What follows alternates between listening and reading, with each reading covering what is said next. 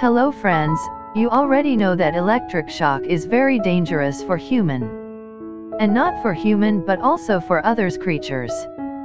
The electricity have capacity to kill someone, and many times you may have heard about it in TV and newspaper. We all know that electricity is very important for human, and with the help of electricity human become more developed than other animals. The electricity is very useful but also very danger. So without wasting time, today we will know that, why we die by electric shock. Many times at home, you already have tasted the electric shock. But we doesn't easily die by this home electric shock, because, the socket in which we put the plug, that pass a minimum range of electricity. But, if it is too high, then you will not save. Many times people die by open wire electric shock, because there is no voltage controller. But the question is that, why people die by electric shock?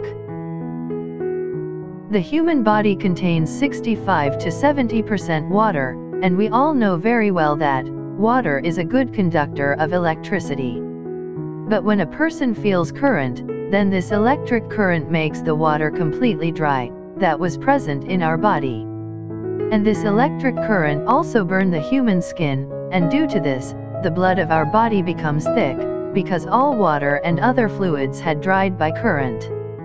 And when the blood becomes thick, then the flow of blood becomes very slow, due to which the blood does not reach to all the parts of the body, due to which all the main organs of the body stop working, like heart, lungs brain etc. and then the person dies.